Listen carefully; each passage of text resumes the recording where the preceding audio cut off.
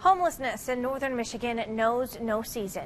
People end up without a place to call home for a lot of different reasons, and a lot of times it includes multiple complicated issues.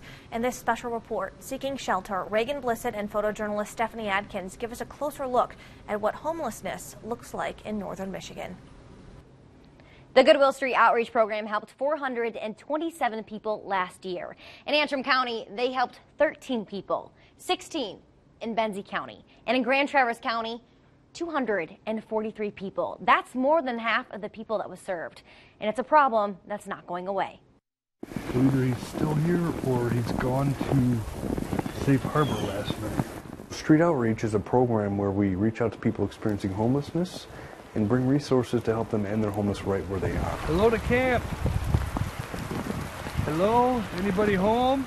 For Ryan and his team of six, that means going beyond the streets of Traverse City and into the woods.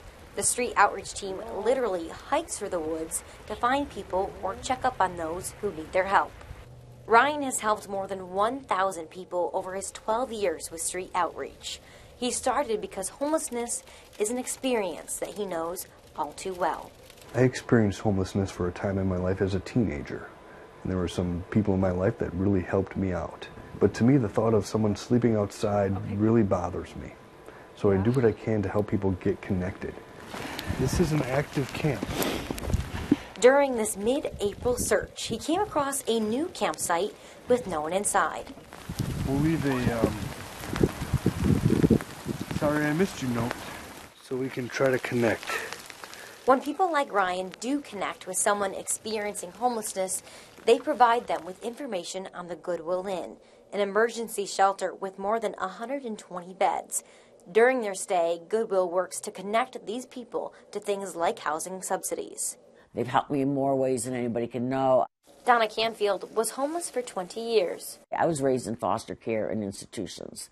So it's like I continued it. I was institutionalized all these years, you know and I feel safest at these places. The Goodwill Inn helped Donna get back on her feet. One of the common themes I see among people I serve is significant trauma in their lives, either as a child or growing up. It takes years for people like Donna to overcome the many hardships that come with homelessness. And that's why part of the street outreach program also works to keep track of people who still call these woods home. And that's his tent there not very put together. Ryan's searching for a man named Gary who spent six months at the Goodwill Inn shelter. Hello to camp. Hey, Gary, how you doing? I noticed it's uh, it's me, Ryan. Oh. Because of the Goodwill Inn's long waiting list, residents can't stay for more than six months. For Gary, that meant returning to his tent. I'm just homeless. um, no place to go. I have a couple of physical disabilities, so I really can't work. Ryan found Gary with wet socks and holes in his shoes. We don't normally bring people down here like this to do this sort of thing, but you're in pretty rough shape, man. Ryan took Gary to the Goodwill store because Gary had a voucher for new shoes. They also took this opportunity to get Gary on a housing waiting list. What would you say your your biggest challenge would be? Surviving another night.